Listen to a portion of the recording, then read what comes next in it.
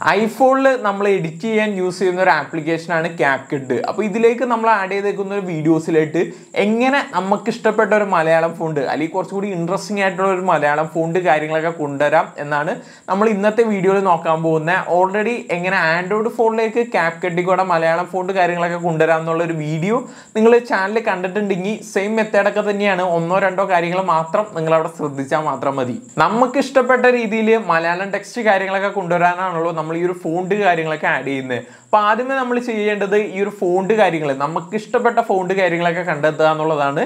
ഇതിനുവേണ്ടി നിങ്ങൾക്ക് നേരെ ഒന്ന് ഗൂഗിളിൽ സെർച്ച് ചെയ്ത് കഴിഞ്ഞാൽ നിരവധി ഫോണ്ട് കാര്യങ്ങളൊക്കെ അവൈലബിൾ ആണ്. അല്ലെങ്കിൽ പല യൂട്യൂബേഴ്സും പല പാക്കും കാര്യങ്ങളൊക്കെ യൂട്യൂബിൽ തന്നെ ഡൗൺലോഡ് ചെയ്യാനുള്ള ഓപ്ഷനും കാര്യങ്ങളൊക്കെ കൊടുക്കുന്നുണ്ട്.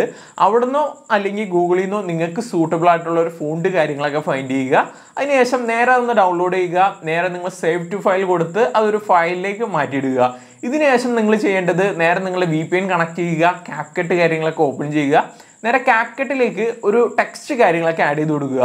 ആഡ് ചെയ്ത് കൊടുക്കുമ്പോൾ നിങ്ങൾക്ക് ലെഫ്റ്റ് സൈഡിൽ കാണാൻ സാധിക്കും. കസ്റ്റം ടെക്സ്റ്റ് കാര്യങ്ങളൊക്കെ ആഡ് ചെയ്യാനുള്ള ഒരു ഓപ്ഷൻ അതായത് കസ്റ്റം ഫോണ്ട് കാര്യങ്ങളൊക്കെ ആഡ് ചെയ്യാനുള്ള ഒരു ഓപ്ഷൻ ജസ്റ്റ് അതിലേക്കൊന്ന് ക്ലിക്ക് ചെയ്ത് കഴിഞ്ഞാൽ നമ്മുടെ ഫയലിൽ നമ്മൾ ആ ഡൗൺലോഡ് ചെയ്തിട്ടേക്കുന്ന ആ ഒരു ഫോൾഡർ അതായത് നമ്മുടെ ആ ഒരു ഫോണ്ട് കാര്യങ്ങളൊക്കെ നിങ്ങൾക്ക് കാണാൻ സാധിക്കും. ജസ്റ്റ് അതൊന്ന് സെലക്ട് ചെയ്ത് കൊടുത്തു കഴിഞ്ഞാൽ ആ ഒരു കസ്റ്റം ഫോണ്ട് കാര്യങ്ങളൊക്കെ നേരെ നമ്മുടെ ക്യാപ്കട്ടിലേക്ക് ആഡ് ആവുന്നത് നിങ്ങൾക്ക് അവിടെ കാണാം.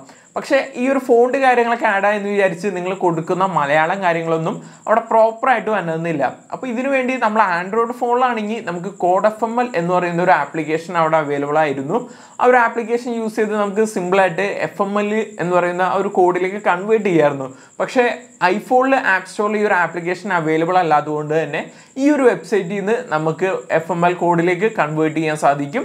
അതിനുശേഷം നിങ്ങൾക്ക് വേണ്ട ഒരു മലയാളം ടെക്സ്റ്റ് അവിടെ കൊടുത്ത് ആ ഒരു എഫ് എം എൽ കോഡിലേക്ക് കൺവേർട്ട് ചെയ്തതിന് ശേഷം നേരെ കൊണ്ട് നിങ്ങളുടെ ക്യാപ്കട്ടിൽ പേസ്റ്റ് ചെയ്ത് കഴിഞ്ഞാൽ നിങ്ങൾ ഏതൊരു ഫോണ്ടാണോ ചൂസ് ചെയ്തേക്കുന്നത് അതിനനുസരിച്ച് നല്ല അടിപൊളിയായിട്ട് നിങ്ങളുടെ മലയാളം ടെക്സ്റ്റ് കാര്യങ്ങളൊക്കെ അവിടെ വരുന്നതായിരിക്കും.